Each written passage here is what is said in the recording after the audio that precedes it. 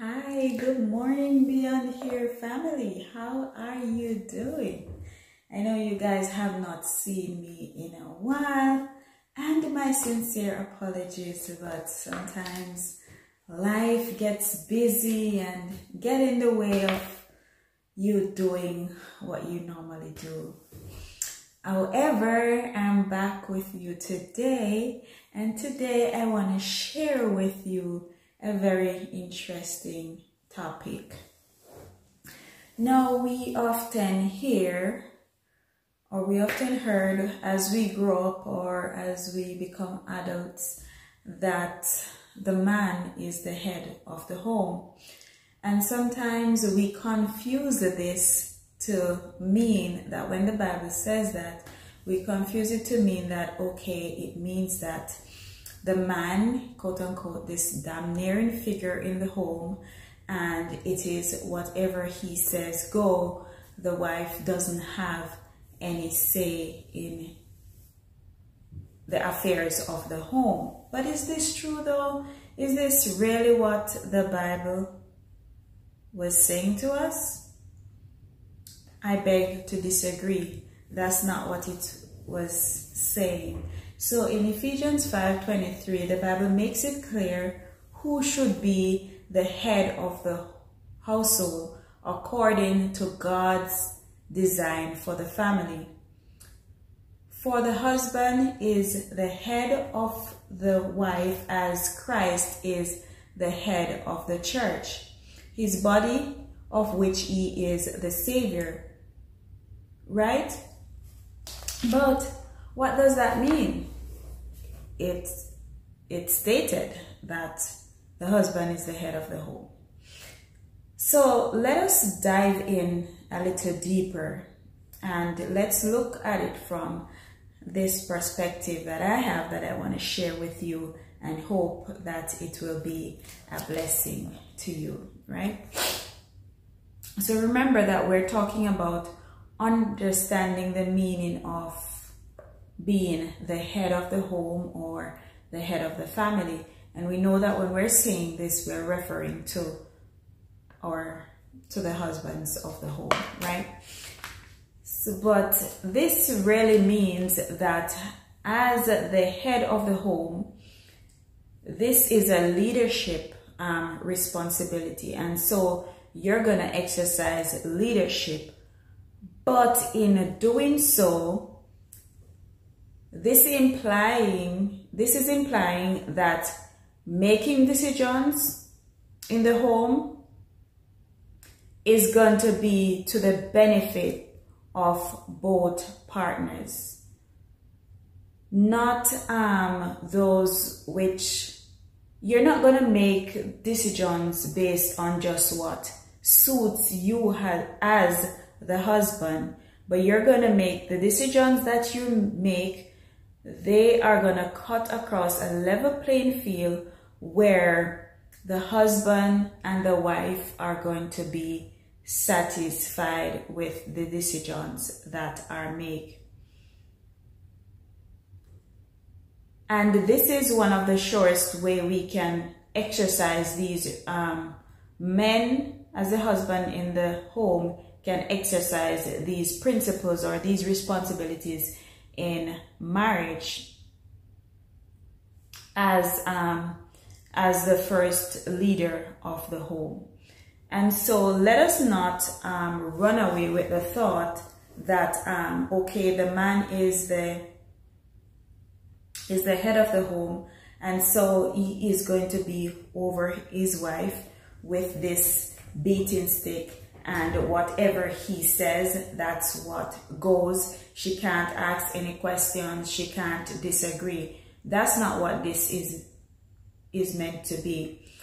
Christ is basically saying to us, just like how God has respect for his church, how he treats his church with love and how he nurtures the church and how he leads the church towards his Father God. He is saying that as the man in your home, you're the head in leading your family to Christ. You're the head in making the decisions to love your family, to love your wife as Christ, to love the church. And when you do that, then it's going to be a level playing field. It's not going to be a damning field where whatever the decisions that I make, the decisions are to benefit me and me alone. That is not so because that would have been selfish. Remember as Christ made the decision to go and to die on the cross for us, this decision was not a selfish decision. He did not do it so that he can be saved. He did it so that the entire world will accept him and be saved by that action. And so this is the principle on which this um, scripture was um, was um, stated or written. And so husband in co-leadership with their wives will establish a more fulfilling relationship. So to exercise leadership implies making decisions which benefit both partners, not those which suit me, the husband. This is the surest way of exercises, exercising responsibility in marriage. The leader is the leader is the first, the first to serve. So if you're a leader, you're the first to serve. So as you become the leader in your home, leadership at the bottom line simply means to serve. And where you going to be serving? You're going to be serving your wife. How, how are you going to be serving your wife? We're not saying that you are to become a slave. Slave and serving is two different things or um, being overburdened with everything of the home. That's not what we're saying. But when you serve, you serve from a perspective that taking yourself out of the picture, it's not self-centered. It is geared towards the betterment of the entire family. The family is not built upon you, but upon Christ. And you get the privilege to become the co-laborer with Christ in leading your family to Christ and ensuring that as you lead your family, the principles of Christ is brought out in your serving, in your leadership. And the quote that I, I read earlier, um, it's from the book Happy Couples which was written by Dr. Juliana Mangolas and Annette D. Mangolas. They are a couple, I believe. So let's let's um let's take this into consideration as Christ seeks for the family to be for the family, as Christ seeks for the family to demonstrate what it is like for us, for a family to be Christ-like, for a family to develop the principles that God sets on the table for us. Now guys, thank you for watching. I hope that this short video will inspire you brought something back to your mind that you never thought about or you would have learned something from this video. And if that was so, I am looking forward to hear from you in the comment section. Yes, that's where we get to talk back to each other and have that little rapport. So please, guys, and if you want to see more tips on family, let me know, put it into the comment section I'm willing to dive into this because the family is something that I truly, truly, truly love. And each day I strive for my family to be a Christ-centered one. So as we grow together and as we groom our family for Christ, let us do so by working together. Share with me your take on the topic. Let me know what you think.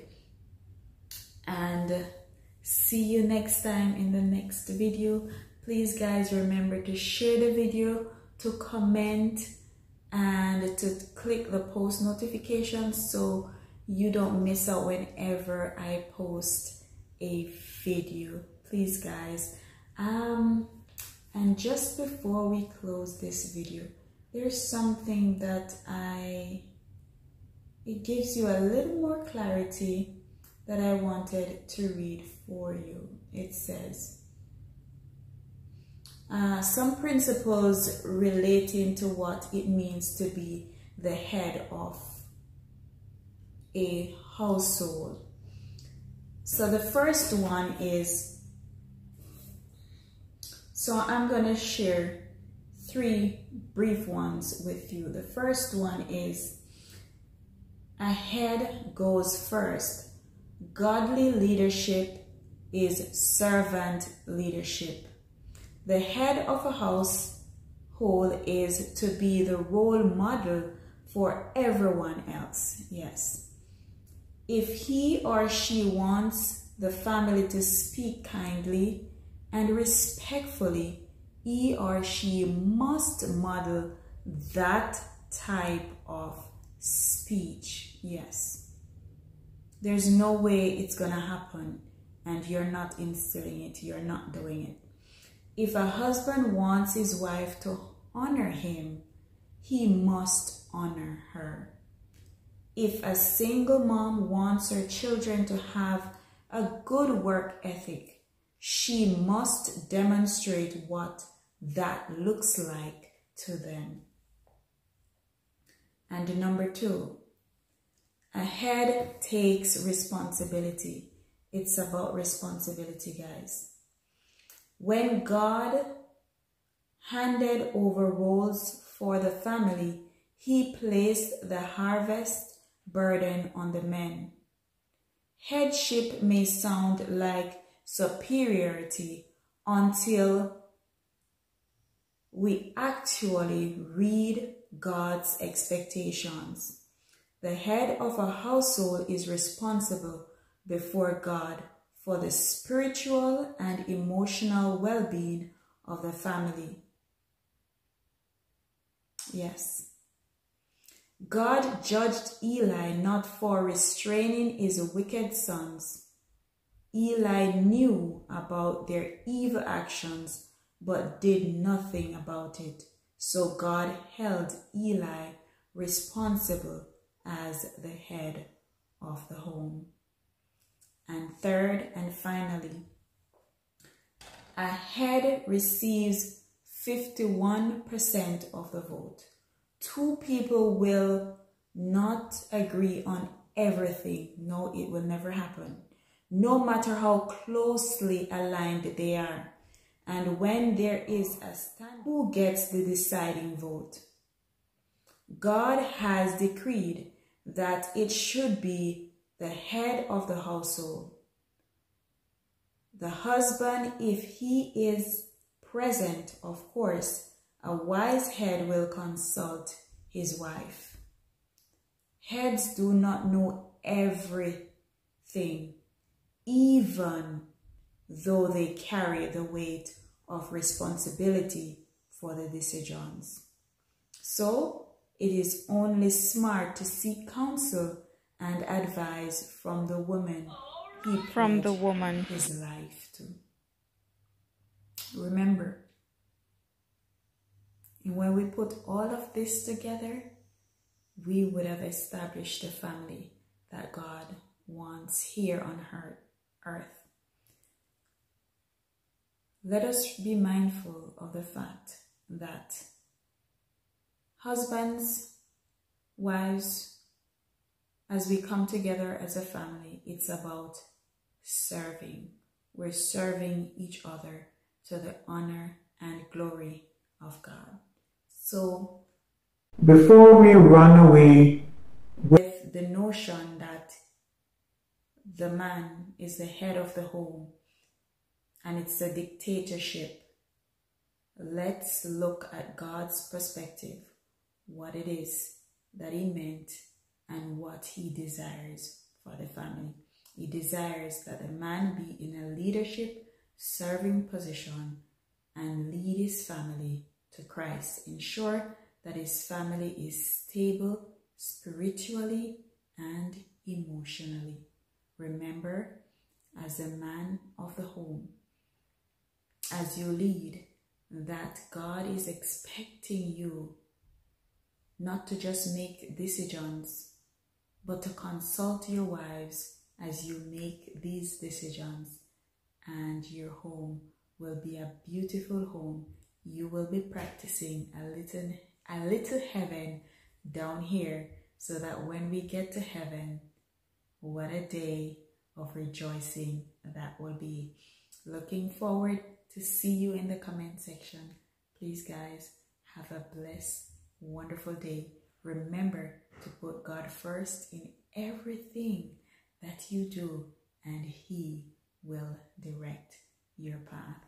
Blessings. God be with you. Bye bye now.